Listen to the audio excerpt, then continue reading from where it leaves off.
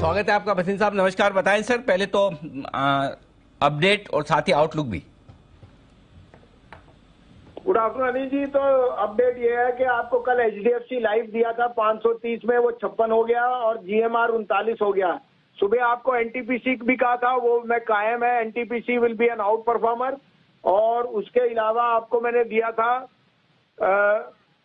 जी GMR और NTPC दोनों को दिए थे। NTPC I am still saying 185 का टारगेट और अब अभी आपने जो पिक कहा है तो उसमें मैंने जो नाम लेना था वो बंसल साहब बंसिल जी ने कह दिया कल उन्होंने मेरे साथ खाना भी खाया तो हमारी दोनों के ख्याल भी मिल रहे हैं। आरबीएल मुझे भी बहुत अच्छा लग रहा है लेकिन शायद उन्होंने कह दिया। उसके अलावा आप तीन पिक्स हैं आप गए तो मैं शुरू करूँ। खिला दिया सर? हेलो। मैं बोल रहा हूँ बंसल जी को भी नमक खिला दिया आपने सर? अरे बंसल जी ने हमें करा दिया सर तो। चलिए बढ़िया जी बताएँ सर।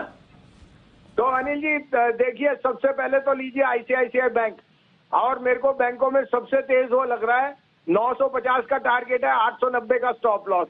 दूसरा लीजिए आप आईई एक्स। मैंने पहले भी कहा था पैंतीस छत्तीस अड़तीस चालीस एक्स इज़ हेडी टू 155, 144, 50, 145 में लीजिए। स्टॉप लॉस ऑफ़ 142, 155 का target on x ICICI bank second buy है और थर्ड पिक है एनटीपीसी एनटीपीसी इकहत्तर साढ़े इकहत्तर में लीजिए। स्टॉप लॉस ऑफ़ 167.50, 185 का टारगेट के तो ये तीन स्टॉक है जहाँ पर आपके लिए खरीदारी करने की राय बसिन साहब की तरफ़ से।